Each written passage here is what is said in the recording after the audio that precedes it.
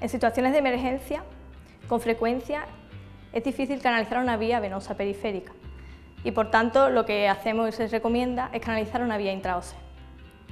Su uso se basa en el hecho de que en el interior de los huesos largos hay una red rica de capilares sinusales que drenan en un seno venoso. Este seno venoso no se colapsa ni siquiera en situaciones de parada cardiorrespiratoria y pasa líquidos y fármacos de una forma similar al que lo haría por una vía venosa periférica. Ahora lo que vamos a hacer es ver cómo se canaliza la vía intraósea, pero para ello primero tenemos que conocer las contraindicaciones y también el material que tenemos que utilizar. Una de ellas es cuando hay una fractura del hueso que vamos a usar para la punción y la otra es cuando mm, ese hueso hemos intentado hacer mm, varios intentos de canalización y no ha sido posible. Esas son las contraindicaciones absolutas. En ese caso lo que hacemos es elegir otro hueso para la punción. Luego hay unas contraindicaciones relativas, que son la osteoporosis, celulitis en la zona de punción, quemadura o un tumor óseo, pero son relativas, se puede hacer la punción en caso de emergencia. El material que vamos a utilizar suele venir primero un set que es de, lo que es la vía intraósea, donde viene una conexión que conectaría directamente con un suero que teníamos que tener previamente preparado con una llave de tres pasos, que iría directamente de la aguja al suero, lo que es la aguja para el dispositivo de la intraósea, que ahora lo veremos, la hay de, varios tamaños, la hay pediátrica, de adulto, dependiendo del, tamaño, la persona que se la vayamos a, poner, y el contenedor de agujas que viene con el set para cuando acabes y la retires, pues la dejes en el set. El material que debemos tener preparado, como he dicho, es el suero preparado con su llave de tres pasos, la conexión que debe de estar previamente también purgada con suero fisiológico, una jeringa de 10 con suero también para hacer la limpieza, que ahora lo veremos durante la técnica, antiséptico para limpiar las gasas y por supuesto los guantes. El dispositivo de intraósea, que es el que vemos aquí, es un dispositivo que trae un protector para que no se encienda solo, se encendería así, y tiene una entrada que es pentagonal que conecta perfectamente con la aguja, que también es pentagonal. La aguja de la intraósea no se cae gracias a un imán que trae en su interior y que nos ayuda a hacer nuestro acceso. Ahora vamos a realizar la técnica. Colocamos los guantes. Tenemos preparada la intraósea, el suero,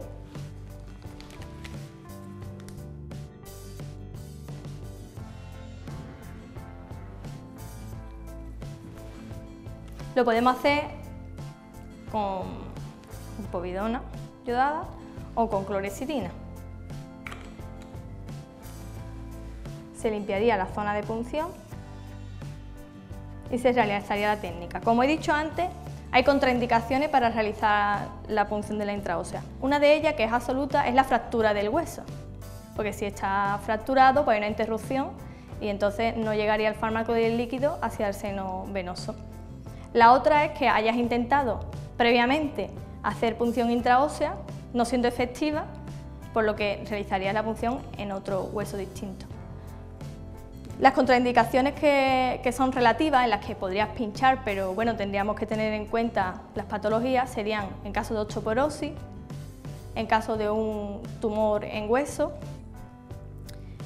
en caso de quemadura y celulitis de la piel. Las zonas de punción más comunes, os las voy a mostrar en un, en un hueso, son la tibia distal o proximal y el húmero, aunque se podría hacer la punción perfectamente en cristas ilíacas, en calcáneo, pero las más comunes son la tibia distal y proximal. En la zona proximal de la tibia lo que se hace es buscar la tuberosidad y dos dedos por debajo medialmente se haría la punción. La punción se realizaría como la vamos a hacer aquí en este modelo.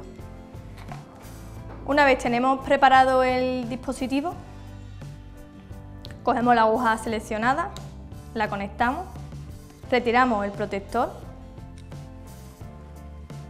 y en la zona de punción que hemos seleccionado previamente pondríamos en 90 grados y empezaríamos. Ahora retiraríamos lo que es el taladro, sujetaríamos aquí la aguja, quitaríamos el fiador, ponemos en el contenedor.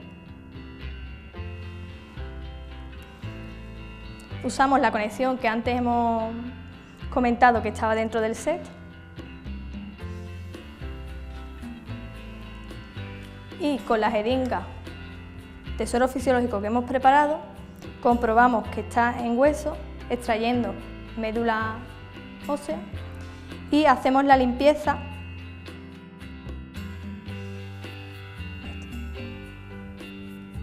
de la vía. Una vez realizado, ponemos el suelo fisiológico, lo conectamos y ya iría como una vía periférica normal. Si queremos que quede mejor fijado, podemos en el miembro que hayamos colocado la intraósea poner un, apósito para que quede mejor. Las complicaciones que pueden surgir, que son poco probables, en la vía intraósea son la celulitis de la zona, que haga un síndrome compartimental, la extravasación porque no haya entrado en cavidad medular, o una lesión del cartílago del crecimiento. La retirada de la vía intraósea se realiza con el paso inverso a lo que hemos hecho anteriormente. Lo primero que hacemos es desconectar nuestra llave de tres pasos del conector. Retiramos el conector sujetando la vía.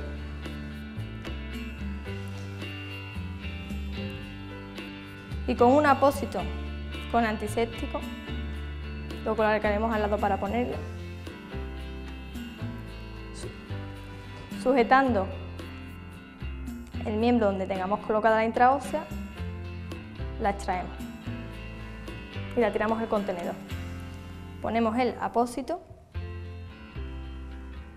y lo ponemos o bien con un apósito con un vendaje compresivo o bien con esparadrapo. Esto se haría en caso de tener ya que retirar la vía porque ya no la necesitemos o en caso de alguna de las complicaciones que hemos visto antes. Si tuviésemos que volver a pinchar, como he comentado, se usaría otra zona de punción distinta a la que ya hemos utilizado.